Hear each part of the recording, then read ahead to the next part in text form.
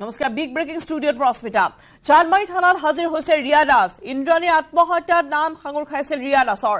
দিবন ডেকা আৰু ৰিয়া দাসৰ ফোন কল হৈছিল ভাইৰেল। সিদ্ধাৰ্থ ভট্টাচাৰ্যৰ নাম লৈছিল দিবন আৰু ৰিয়াই। সিদ্ধাৰ্থ ভট্টাচাৰ্যৰ মূৰত কঁঠাল ভাঙিব লাগিব বুলি কৈছিল ৰিয়া দাসে।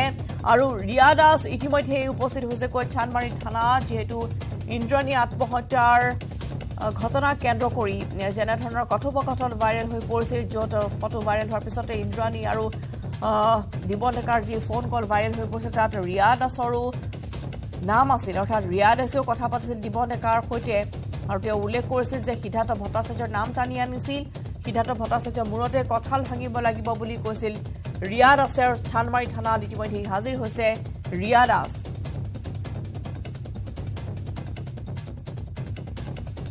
ইটোৰ পাছত সিটো কৈ ইতিমধ্যে ৰহস্যখন এই কাহিনীৰ যেন এটা এটা তথ্য এতিয়া ইতিমধ্যে ফাদিল হৈ পৰিছে। এখন ভাইৰেল ফটো তাৰপিছতে এটা আত্মহত্যা আৰু তাৰপিছতেই বিভিন্ন চাকৰিৰ লেনদেন বা ধন আত্মসাতৰ অভিযোগ। বিভিন্ন ধৰণৰ এতিয়া দালাল ৰাজে কেনেদৰে ভাৰতীয় জনতা পাৰ্টীৰ ভিতৰ চৰাৰ আচলতে ডেভেলপ পাই আছিল একাংশ নেতা পালি নেতাৰে সেয়া ইতিমধ্যে আহিছে পোহৰলৈ। য'ত দেখিবলৈ পোৱা গৈছে যে দিবন ডেকাৰ বাহিৰেও এই সমগ্ৰ ঘটনাত যি মোৰ দেখিবলৈ পোৱা গৈছে। প্ৰথম অৱস্থাত যেনেধৰণে নাম সাঙুৰ খাই পৰিছে দিবন ডেকাৰ কেৱল এছাই কেলেংকাৰীতে নহয় এতিয়া দেখিবলৈ পোৱা গৈছে যে দ্বিতীয় বিবাহ কৰাৰ অভিযোগতো প্ৰথমা পত্নী থকাৰ অৱস্থাতে দ্বিতীয় বিবাহ কৰাৰ অভিযোগতো দিবন ডেকাক ইতিমধ্যে দিবন ডেকাৰ বিৰুদ্ধে গোচৰ ৰুজু কৰা হৈছে। আৰু ইফালে ৰিয়া দাস আৰু দিবন ডেকাৰ এটা টেলিফোনিক যি বাৰ্তালাপৰ ফোন কল ভাইৰেল হৈ পৰিছিল আৰু সেই ভাইৰেল কলটোত দিবন ডেকা আৰু ৰিয়া দাসে সিদ্ধাৰ্থ ভট্টাচাৰ্যৰ নাম লৈছিল। ৰিয়া দাসে কৈছিল যে আপুনি সিদ্ধাৰ্থ ভট্টাচাৰ্যলৈ যি ফটো দিছিল সেই সন্দৰ্ভত উল্লেখ কৰিছিল যে আৰু সমগ্ৰ আৰু সেই সন্দৰ্ভত তেওঁ জনাইছিল যে সিদ্ধাৰ্থ ভট্টাচাৰ্যৰ মূৰতেই কঁঠাল ভাঙিব লাগিব আৰু আন এক গুৰুত্বপূৰ্ণ খবৰ আহি পৰিছে। অসীম কুমাৰ ভট্টাচাৰ্য যিগৰাকীয়ে ইতিমধ্যে দীৰ্ঘদিন পলাতক হৈ আছিল এই সমগ্ৰ ঘটনাত নাম সাঙুৰ খাই পৰিছিল অসীম কুমাৰ ভট্টাচাৰ্যী বৰ্তমান চান্দমাৰী থানাত গৈ উপস্থিত হৈছেগৈ। এই মুহূৰ্তৰ আন এক গুৰুত্বপূৰ্ণ খবৰ আমি জনাইছো। ৰিয়া দাসৰ উপৰিও ইন্দ্ৰাণী আত্মহত্যাৰ ঘটনাৰ অসীম জ্যোতি চক্ৰৱৰ্তী এই মুহূৰ্তত উপস্থিত হৈছেগৈ। চান্দমাৰী থানাত ৰিয়া দাস উপস্থিত হৈছেগৈ তাৰপিছতে অসীম জ্যোতি চক্ৰৱৰ্তী। যিগৰাকীক ইতিমধ্যে চান্দমাৰী থানালৈ তলব কৰা হৈছিল তেওঁ পলাতক হৈ আছিল। অসীম জ্যোতি চক্ৰৱৰ্তীকো ইতিমধ্যে চান্দমাৰী থানাত হাজিৰ হৈছে। বুলি জানিব পৰা গৈছে। এই মুহূৰ্তৰ গুৰুত্বপূৰ্ণ খবৰ আহি পৰিছে। দিবন ডেকা কালিৰ দিনটোত গ্ৰেপ্তাৰ কৰা হৈছে। এতিয়া আন যি অভিযুক্তসকল আছিল য'ত অসীমজ্যোতি চক্ৰৱৰ্তীৰ নাম আহি পৰিছিল। অসীমজ্যোতি চক্ৰৱৰ্তীয়ে বহু লোকৰ পৰা ঠগ প্ৰবঞ্চনাৰে যথেষ্ট ধন আত্মসাত কৰাৰ অভিযোগ আছিল। ইন্দ্ৰাণীৰ এই আত্মহত্যাৰ ঘটনাত অসীমজ্যোতি চক্ৰৱৰ্তী আছে নে নাই সেয়া জানিব পৰা হোৱা নাই। যদিও যি আন এক যি তথ্য পোহৰি আহিছে য'ত এই আত্মহত্যাৰ ঘটনাৰ পিছতে পোহৰে আহিছিল যে কেনেদৰে এক দালাল চক্ৰ এক চিণ্ডিকেট ৰাজ চলি আছিল আৰু তাতে অসীমজ্যোতি চক্ৰৱৰ্তীৰ নামো সাঙুৰ খাই পৰিছিল। গতিকে অসীমজ্যোতি চক্ৰৱৰ্তী ইতিমধ্যে চান্দমাৰী থানাত গৈ উপস্থিত হোৱাৰ খবৰ আমি শেহতীয়াভাৱে লাভ কৰিছোঁ। সমান্তৰালভাৱে ৰেখান্ত দাস ৰেখান্ত দাসকো তলব কৰা হৈছে। তেওঁ কিন্তু এতিয়ালৈকে আহি উপস্থিত হোৱা নাই। অভিমন্যু দাস পলাতক হৈ আছে। অভিমন্যু দাসে বৰ্তমান নেপালত আত্মগোপন কৰি থকা বুলি জানিব পৰা গৈছে। আৰক্ষীয়ে অভিযান আৰম্ভ কৰিছে। বৰ্তমান কিন্তু আন যি এজনক বিচাৰি আৰক্ষীয়ে অভিযান আৰম্ভ কৰিছিল অসীম জ্যোতি চক্ৰৱৰ্তী তেওঁ ইতিমধ্যে চান্দমাৰী থানাত উপস্থিত হোৱাৰ খবৰ লাভ কৰা গৈছে। অধিক তথ্য জনাব ঋতিক কৌশিকে। ঋতিক।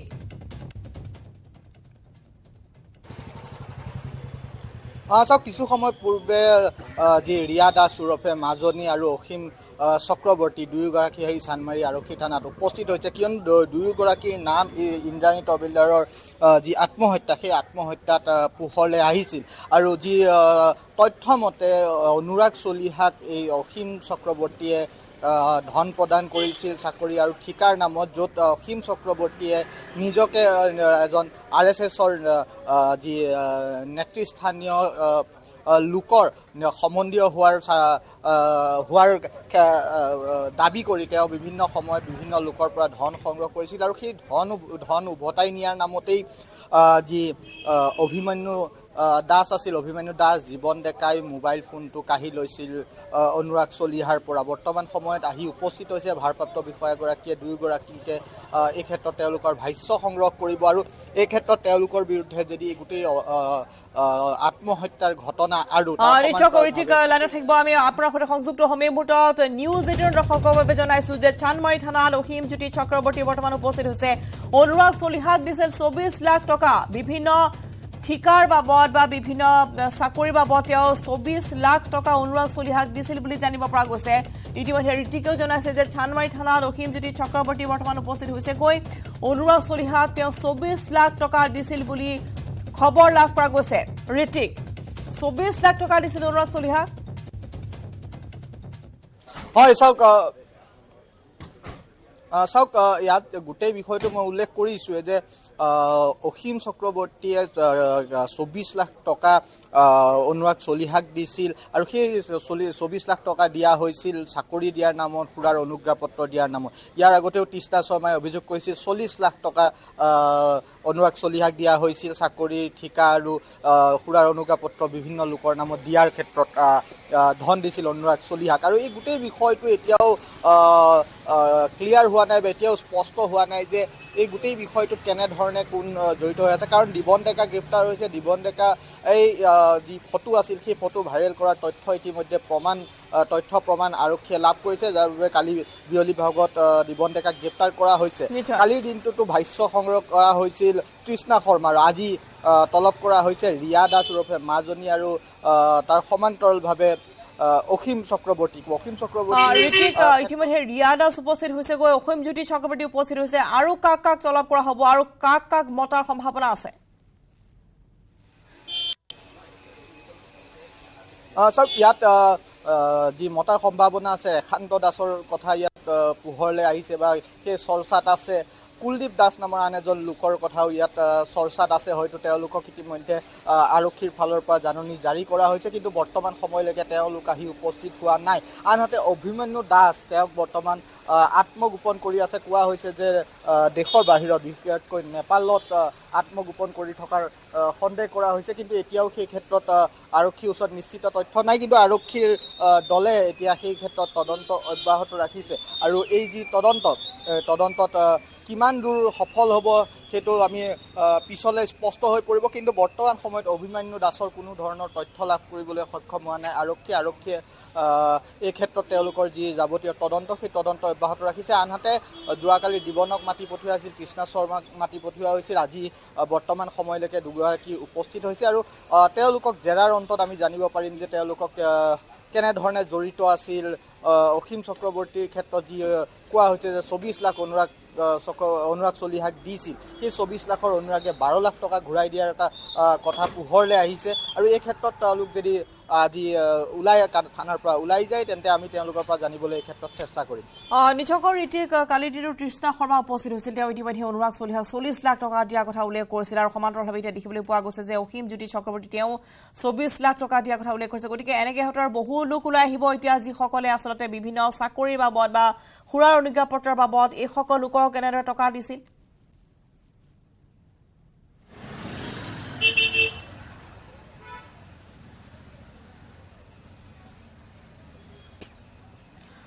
যি এক চাকৰি বজাৰ বহিছিল। আমি ঋতিকক মুহূৰ্তত ধন্যবাদ জনাইছো আৰু ইতিমধ্যে ঋতিকে জনাইছে যে অসীম জ্যোতি চক্ৰৱৰ্তী যিগৰাকী ইতিমধ্যেই চান্দমাৰী থানাত তলব কৰা হৈছিল আৰু সেই বিচাৰি ফুৰিছিল। অসীম জ্যোতি চক্ৰৱৰ্তী পলাতক অৱস্থাত আছিল কিন্তু ইতিমধ্যে চান্দমাৰী থানাত তেওঁ উপস্থিত হৈছে বুলি জানিব পৰা গৈছে। কেইটামান মুহূৰ্তৰ পূৰ্বে উপস্থিত হৈছে গৈ ৰিয়া দাস ওৰফে মাজনী দাস। অনুৰাগ চলিহা অসীম জ্যোতি চক্ৰৱৰ্তীয়ে দিছিল চৌবিছ লাখ টকা চাকৰিৰ কাৰণে দিছিল এই টকা ইয়াৰে বাৰ লাখ টকা হয়তো অনুৰাগ চলিহাই উভতাই দিছে অসীম জ্যোতি চক্ৰৱৰ্তী কিন্তু বৰ্তমানো বাকীখিনি টকা বিচাৰি অসীম জ্যোতিয়ে চক্ৰৱৰ্তীয়ে অনুৰাগ চলিহাক তেওঁ বিচাৰি থকা বুলি জানিব পৰা গৈছে। শেহতীয়া খবৰ লাভ কৰা গৈছে। আন এক অভিযান চলি আছে বৰ্তমান অভিমন্যু দাসক বিচাৰি। পলাতক অভিমন্যু দাসক বিচাৰি অভিযান আৰম্ভ কৰিছে। নেপালৰ আত্মগোপন কৰি থকাৰ সন্দেহ কৰিছে আৰক্ষীয়ে। অসম আৰক্ষীৰ এটা দল ৰাওনা হৈছে নেপাললৈ বুলি। শুকুৰবাৰে ছচিয়েল মিডিয়াত ফটো আপলোড কৰিছিল অভিমন্যু দাসে। শুকুৰবাৰে ফটো আপলোড কৰিছিল অভিমন্যু দাসে আৰু বৰ্তমান অভিমন্যু দাসক বিচাৰি অসম আৰক্ষীৰ দল গৈছে নেপাললৈ। নেপালত অভিমন্যু দাসে আত্মগোপন কৰি থকাৰ সন্দেহ কৰিছে আৰক্ষীয়ে আৰু সেয়েহে অসম আৰক্ষীৰ দল ৰাওনা হৈছে নেপাললৈ। শুকুৰবাৰে ছচিয়েল মিডিয়াত ফটো আপলোড কৰিছিল অভিমন্যু দাসে।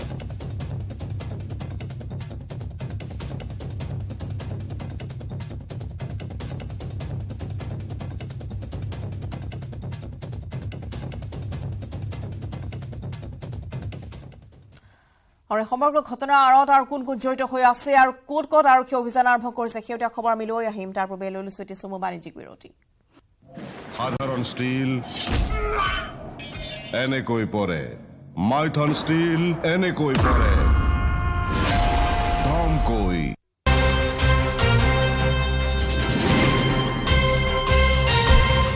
Six states, 1200 plus reporters, 67 plus crore viewers. India's largest news network, News 18 Network.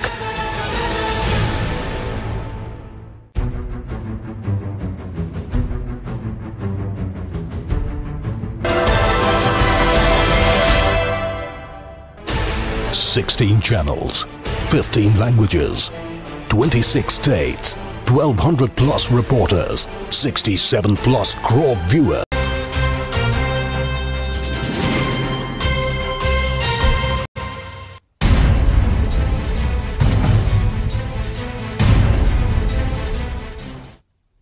বহুৰূপী Abhimanyu. হয় আমি ক'বলৈ লৈছো ইন্দ্ৰাণী তাহমিলদাৰৰ আত্মহত্যাৰ কাণ্ডত নাম সাঙুৰ খোৱা মাফিয়া অভিমন্যু দাসৰ কথা।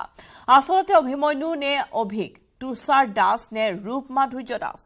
আচলতে কোন হয় এইজন তথা অভিমন্যু দাস? কিয়? অভিমন্যু দাসৰ সৈতে সাঙুৰ খাইছে এই অন্য নামবোৰ। ইন্দ্ৰাণীৰ মৃত্যুৰ ঘটনাত জড়িত হৈ পৰা অভিমন্যুৰ আচলতে বহু বহুৰূপী বহুৰূপ ধাৰণ কৰি ঠগ প্ৰবঞ্চনাৰে লুট মাৰ চলাই আহিছে অভিমন্যু দাসে। হাতত পিষ্টল লৈ ৰাজপথত গুণ্ডামী কৰা অভিমন্যুৰ বহুৰূপ এতিয়া ওলাই পৰিছে। অভিমন্যুৰ মুখা খুলি থৈছে খোদ অভিমন্যুৰ পত্নীয়ে।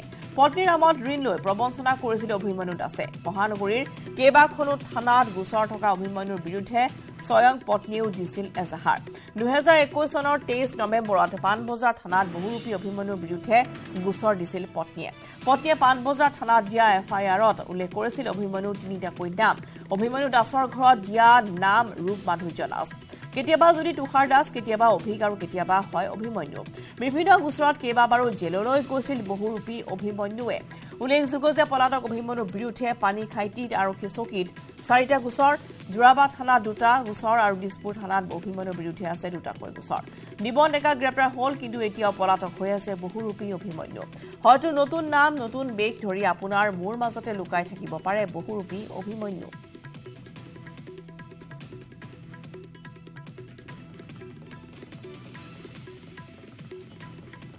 পলাতক অভিমন্যু দাসক বিচাৰি এতিয়া অভিযান আৰম্ভ কৰিছে আৰক্ষীয়ে।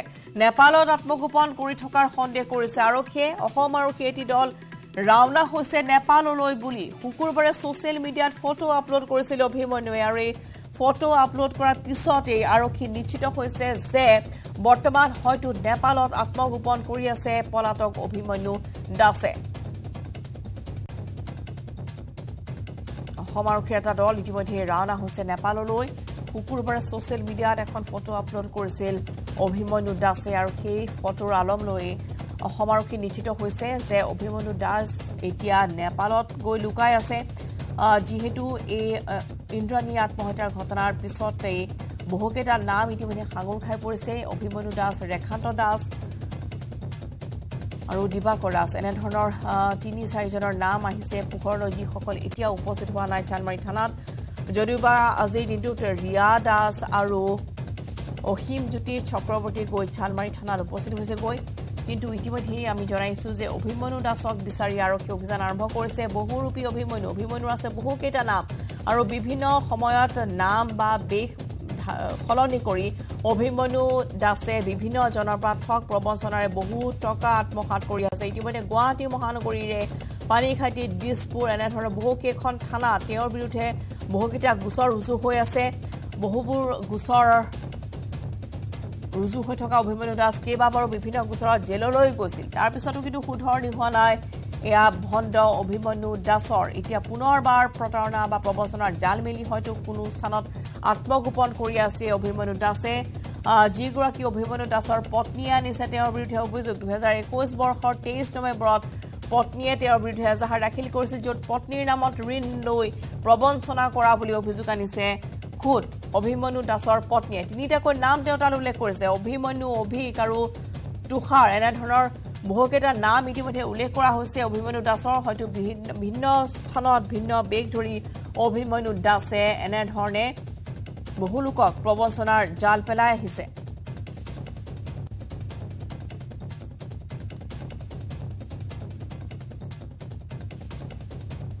এতিয়া নেপালত আত্মগোপন কৰি থকাৰ সন্দেহ কৰি আৰক্ষী অসম আৰক্ষী এটি দল গৈছে নেপাললৈ আৰু নেপালত হয়তো অভিযান আৰম্ভ কৰিব। ছচিয়েল মিডিয়াত শুকুৰবাৰে এখন ফটো আপলোড কৰিছিল অভিমন্যু দাস। এই মুহূৰ্তত ঋতিক কৌশিক আছে। ঋতিক বৰ্তমান নেপালত আত্মগোপন কৰি থকাৰ সন্দেহ কৰা হৈছে।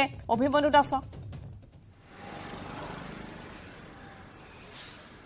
হয় চাওক আমি আগতে উল্লেখ কৰিছোঁ যে দেশৰ বাহিৰলৈ পলাই যোৱাৰ সন্দেহ কৰা হৈছে। যেতিয়া এই ঘটনাটো পোহৰলৈ আহিছিল ইন্দ্ৰাণী তহবিলদাৰৰ মৃত্যু আৰু তাৰ পিছতেই যেতিয়া ছ'চিয়েল মিডিয়াতে আৰু আন সংবাদ মাধ্যমত অভি- অভিমন্যু দাসৰ নাম উচ্চাৰিত হৈছিল তাৰ পিছতেই আত্মগোপন কৰিছিল অভিমন্যু দাসে আৰু আৰক্ষীয়ে সন্দেহ কৰিছে যে চুবুৰীয়া ৰাষ্ট্ৰ নেপালত গৈ আত্মগোপন কৰি আছে অভিমন্যু দাসে। যাৰ বাবে কালি নিশা মহানগৰ আৰক্ষী এটা দল ৰাওনা হৈছে আৰু কোৱা হৈছে যে নেপাললৈ সেই দলটো গৈছে। কিন্তু আৰক্ষীয়ে ফালৰ পৰা আনুষ্ঠানিকভাৱে এই ক্ষেত্ৰত কোনো তথ্য প্ৰকাশ কৰা নাই। কিন্তু আমি যি তথ্য লাভ কৰিছোঁ নেপালৰ দিশে দলটো ৰাওনা হৈছে আৰু আৰক্ষীয়ে তথ্য লাভ কৰিছে নেপালৰ কোনো স্থানত আত্মগোপন কৰি থকা। কিন্তু এতিয়াও সেইটো স্পষ্ট নহয় কিন্তু আৰক্ষী মহানগৰ আৰক্ষীৰ এটা দল কালি নিশা ইয়াৰ পৰা ওলাই গৈছে আৰু কোৱা হৈছে নেপালত যিহেতু আত্মগোপন কৰি থাকিব পাৰে ইয়াৰ আগতেও বহু আমি এনেকুৱা দেখিছিলোঁ য'ত নেপালত গৈ আত্মগোপন কৰি থাকে। আমি যদি এছ আই কেলেংকাৰীৰ কথা কওঁ প্ৰাক্তন D I G P K Dutta নেপালত আত্মগোপন কৰি আছিল আৰু তাৰ পৰাই অসম আৰক্ষীয়ে গ্ৰেপ্তাৰ কৰি আনি আনিছিল পি কে দত্তক। এই ক্ষেত্ৰতো হয়তো নেপালত আত্মগোপন কৰি থাকিব পাৰে আৰু তাৰ পৰা মহানগৰ আৰক্ষীৰ দলে যি নিশ্চিত তথ্য পাইছে হয়তো নেপালত আটক কৰিবলৈ সক্ষম হ'ব অভিনন্দন দাসক। নিশ্চয়কৈ ঋতিক ধন্যবাদ জনাইছোঁ। আপোনালোক আৰু চানমাৰীৰ পৰা ইতিমধ্যে ঋতিকে জনাইছে যে হয়তো নেপালত তেওঁক আটক কৰা হ'ব যিহেতু নেপালত অভিমন্যু দাসে আত্মগোপন কৰি থকাৰ এক তথ্য লাভ কৰিছে অসম আৰক্ষী আৰু তাৰপিছতে বৰ্তমান নেপাললৈ বুলি আৰু ৰাওনা হৈছে অসম আৰক্ষীৰ এটি দল।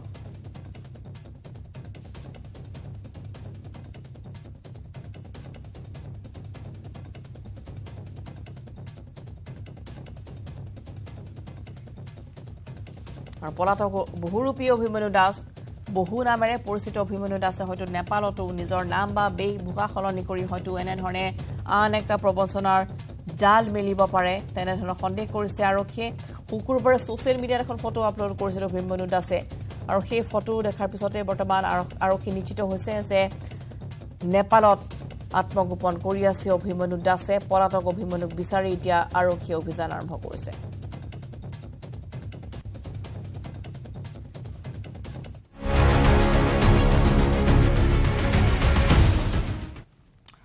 ফলে গ্ৰেপ্তাৰ হোৱা দিবন ডেকাৰ সন্দৰ্ভত আহিছে বহুকেইটি খবৰ যে দিবন ডেকাই সঁচাকৈ দ্বিতীয় বিবাহ কৰাইছিল নেকি? দিবন ডেকাৰ পত্নীৰ অভিযোগ কিমান দূৰ সত্য? আমাৰ হাতত আহি পৰিছে এটা এক্সক্লুচিভ ভিজুৱেল এই ভিজুৱেল দেখাৰ পিছতে আপুনি নিজে বুজিব যে দিবন ডেকাই দ্বিতীয় বিবাহ কৰাইছিল নে নাই। এইজন দিবন ডেকাই যোৰহাটত এগৰাকী যুৱতীক চাকৰি পোৱাত সহায় কৰিছিল। যুৱতীগৰাকীক যোৰহাটত ঘৰ লৈ দিছিল নে নাই? আৰু যোৰহাটলৈ গ'লেই সেই বিশেষ মহিলাগৰাকীৰ ঘৰতে কিয় থাকে দিবন ডেকা সেই কথা বুজি পাব এই ভিডিঅ'টো চালে আৰু বহু লোকে এতিয়া son of Bhuvan Daga, and uh, uh,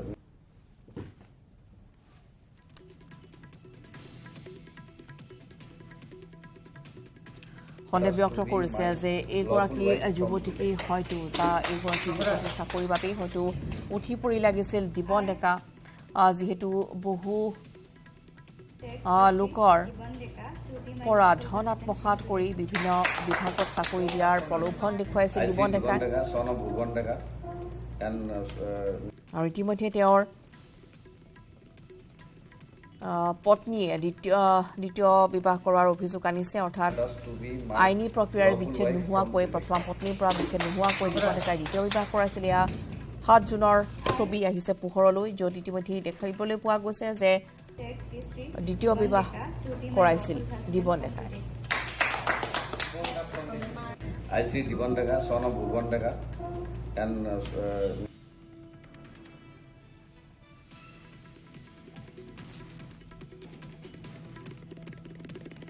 to be my lawful wife from today.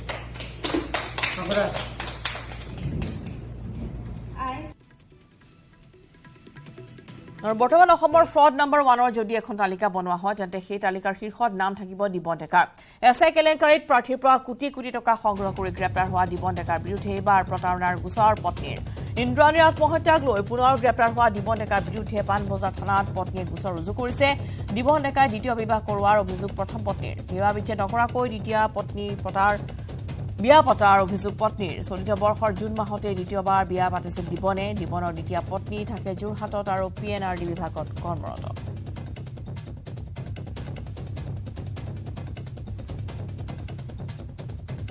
আৰু ইতিমধ্যে যোৰহাটৰ পৰা গৌতম বৰাই জনাইছিল যে এইগৰাকী যুৱতীক বিচাৰি গুৱাহাটী আৰক্ষীয়ে তাত তেওঁ খবৰ লৈছিল। আৰু এই অভিযোগ যি দিবন ডেকাৰ বিৰুদ্ধে আহিছিল সেই অভিযোগ কিমান দূৰ সত্য সেয়া যোৰহাটত খবৰ লৈছিল গুৱাহাটী আৰক্ষীয়ে সেই কথা ইতিমধ্যেই লাভ কৰা গৈছে গৌতমে জনাইছে সেই খবৰ.